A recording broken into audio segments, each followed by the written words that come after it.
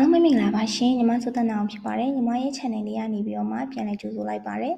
ဒီနေ့ညီမပြောပြချင်တဲ့အကြောင်းအရာလေးကတော့အစိတ်ရှိမွေးကတ်ခံအောင်လို့ရှိရင်တော့မှညီမတို့ကိုအသက်မသေးစေနိုင်တဲ့ပေါ့နော်မမျိုးစိတ်လေးတွေကိုပြောပြပေးသွားမှာဖြစ်ပါတယ်ရှင်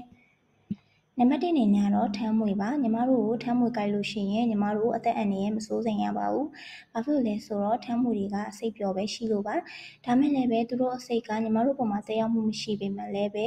သူတို့စားတဲ့သားကောင်းတွေဖြစ်တဲ့ ဒီငှက်တို့လို့ရှိရင်ပုတ်တင်လို့တခြားတောက်တဲ့တို့ပေါ်မှာတက်ရောက်မှုရှိပါတယ်။နံပါတ်2ကတော့ရကန်းချိုးပါညီမတို့ကိုရကန်းချိုးကြိုက်လို့ရှိရင်လည်းညီမတို့အသက်အန္တရာယ်မစိုးရိမ်ရပါဘူးအစိတ်ပျော်ပဲရှိလို့ပါဟိုသူတို့ရဲ့အဆွဲတွေကသူတို့ရဲ့မေယိုနောက်မှာပဲပေါက်တဲ့အတွက်ကြောင့်မလို့ညီမတို့စက်ခနဲ့ကြိုက်လိုက်ရုံနဲ့ရကန်းချိုးမှုတွေရဲ့အစိတ်ကမဝင်နိုင်ပါဘူးညီမတို့အချိန်နည်းနည်းလေးပေါ့နော်ကြိုက်ခဲထားမှသာအစိတ်ဝင်နိုင်မှာဖြစ်ပါတယ် နံပါတ်3အနေနဲ့ကတော့ရေမွေကြားဖြစ်ပါတယ်ရေမွေကြားတွေက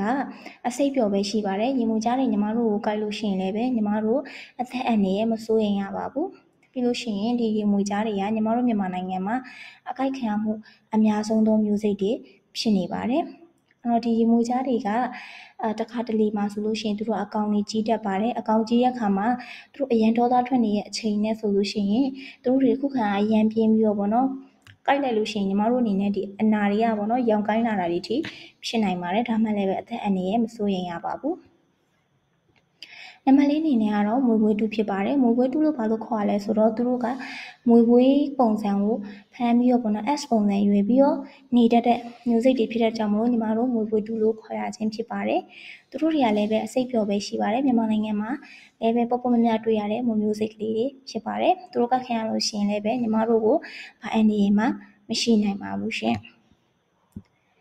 နံပါတ်5အနေနဲ့ကတော့တဲမွေဖြစ်ပါတယ်တဲမွေတွေကညီမတို့ရဲ့ပတ်ဝန်းကျင်မှာခဏခဏမတွေ့ရတတ်ပေမဲ့လည်းပဲရန်ဖန်ရန်အခါတွေ့ရတတ်တဲ့မွေမျိုးစိလေးတွေဖြစ်ပါတယ်သူတို့တွေက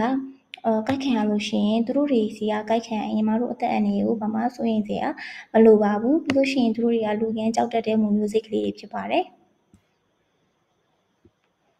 နံပါတ်6နေနေကတော့ကနကုတ်ဖြစ်ပါတယ်ညီမတို့ငါးမြရင်ပဲဖြစ်ဖြစ်နော်ဒီပိုက်တွေချရင်ပဲဖြစ်ဖြစ်အများကြီးတွေပါလာတတ်တဲ့မွေမျိုးစိတ်ကလေးဖြစ်ပါတယ်သူတို့ကရှုံမွေမျိုးစိတ်ဖြစ်ပြီးတော့ရှုံမွေတွေအားလုံးကအစိပ်ပျော်လေးရှိကြပါတယ်ဒါပေမဲ့သူတို့ကခံရလို့ရှိရင်ညီမတို့အသက်အန္တရာယ်စိုးရင်စရာမလိုပါဘူး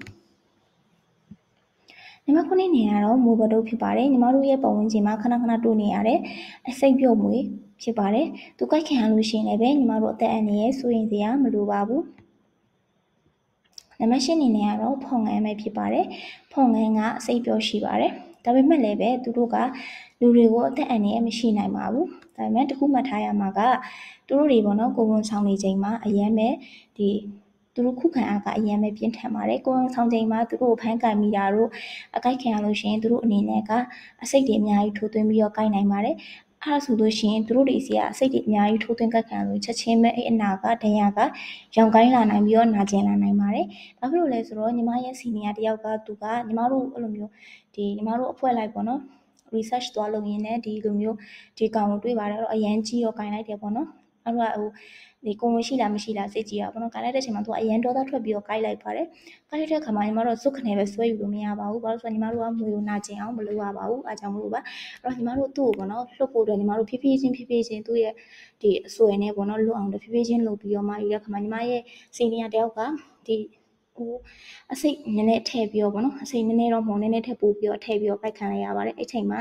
ဒီခဏလေးတွင်းမှာပဲသူ့ရဲ့လက်ကြီးကရောင်ကိုင်းလာပါတယ်ပြီးတော့အရန်မဲနာကျင်လာပါတယ်အဲ့တော့လူမျိုးကြီးတွေပေါ့နော်ကိုဝန်ဆောင်နေတဲ့အချိန်မှာဆိုလို့ရှိရင်သူတို့တွေကခုခံအားကအရန်မဲပြင်းထန်ပါတယ်အစိတ်လည်းအများကြီးထည့်ပြီးဖိတ်တတ်ပါတယ်အားကြောင့်မလို့မူတွေကိုလက်ပလာနဲ့မခံကြပါနဲ့ လို့ရှိရင်အစိတ်ပြောရှိရမှုဆိုပေမဲ့လည်းပဲအသက်အန္တရာယ်မစိုးရင်ရဘူးဆိုပေမဲ့လည်းပဲညီမတို့မိခိုင်ကာကွယ်ဆေးထိုးဖို့လိုအပ်ပါတယ်။ဘာဖြစ်လို့မိခိုင်ကာကွယ်ဆေးထိုးဖို့လိုအပ်လဲဆိုတော့မိခိုင်ကာကွယ်ဆေးကကြတော့ဒီမိခိုင်ပိုးကိုကြိုတင်ပြီးတော့ပဲကာကွယ်လို့ရပါတယ်။မိခိုင်ပိုးဝင်သွားပြီဆိုရင်ကုသတဲ့ဆေးမရှိပါဘူး။အားကြောင့်မလို့ဘာအကောင်မဲကြိုက်ခံရကြိုက်ခံရဒီမွေဆိုလို့ရှိရင်ပူအောင်ဆိုပါတယ်။မွေကသွားမတိုက်ပါဘူး။အားကြောင့်မလို့မွေကြိုက်ခံရလို့ရှိလို့ရှိရင်လည်းညီမတို့အမြဲမိခိုင်ကာကွယ်ဆေးထိုးခိုင်းတာဖြစ်ပါတယ်။ အားလုံးပဲကောင်းသောညချမ်းလေးဖြစ်ကြပါစေရှင်ညီမရဲ့ဒီဗီဒီယိုလေးကနေပြီးကြည့်ပြီးတော့မှအစိတ်ပြောရှိရမှုတွေကိုလေ့လာနိုင်မယ်လို့မျှော်လင့်ပါတယ်ပြီးလို့ရှိရင်ညီမတို့ရဲ့ Snake ဆက်မြန်မာ group လေးကိုလည်းဝင်ပြီးတော့ join ပြီးတော့လေ့လာပေးကြပါအောင်ပြီးလို့ရှိရင်ညီမရဲ့ Instagram account လေးကိုလည်းတွားပြီးတော့ follow လုပ်ပေးကြပါအောင်အားလုံးပဲကောင်းသောညလေးဖြစ်ကြပါစေရှင်ကျေးဇူးအများကြီးတင်ပါတယ်